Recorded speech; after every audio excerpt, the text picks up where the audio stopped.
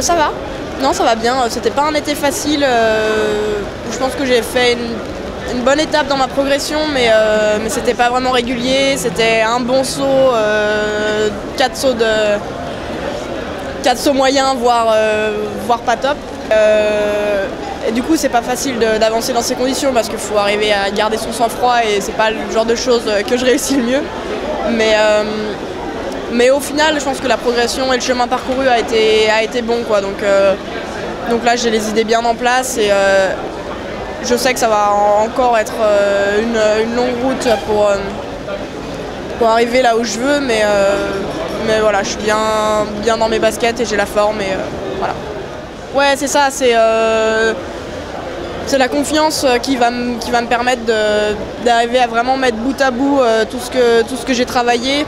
Et ça marche aussi dans l'autre sens. arriver à mettre bout à bout ce que j'ai travaillé pendant l'été va me permettre de gagner la confiance et, et ça va ensemble et, et c'est voilà, la clé un petit peu pour, pour revenir quoi. Je veux faire un bon hiver. Après pour moi un bon hiver ça ne veut pas forcément dire taper tous les podiums parce que clairement en ce moment j'en suis pas capable mais, mais c'est ça, ça veut dire commencer par faire euh, une bonne ouverture de Coupe du Monde, à rentrer, voilà, mon objectif c'est le, le, top 15.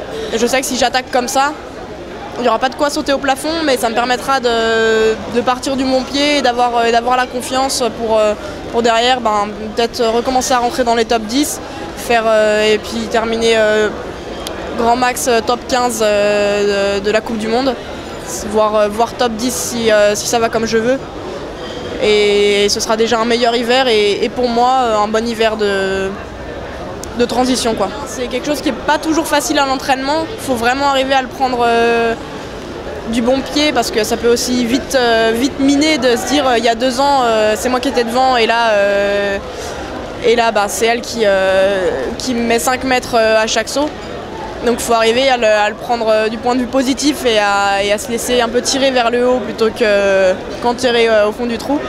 Mais, euh, mais c'est important, je pense, dans une équipe que, ça tourne, que euh, le, leader soit pas forcément toujours la, même personne. Et, euh, et puis, malgré tout, même s'il y a des filles qui sont en haut et des filles qui sont un peu moins en forme, on a quand même toujours une équipe assez dense. Et ça, c'est. Enfin, ouais, c'est une bonne chose, quoi. et je pense que on a, moyen euh, d'être une équipe forte, dense et, euh, en haut. Oui, j'y pense parce que j'ai besoin de me, fixer des objectifs. J'ai besoin de. Voilà, je suis quelqu'un qui, marche un peu, euh, un peu à la carotte et, pour, pour Sochi, j'ai réussi à, voilà, me concentrer sur les jeux et à faire tout ce qu'il fallait pour y arriver. Et ensuite, derrière, j'ai pas réussi à, me donner le même entrain.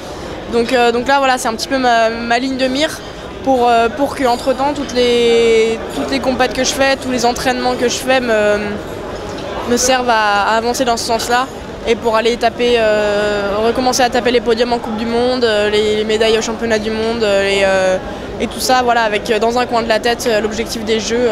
parce qu'au final, il y a du temps, mais, mais c'est aussi assez proche. Deux saisons, enfin deux, deux, deux ans, c'est relativement proche. Quoi.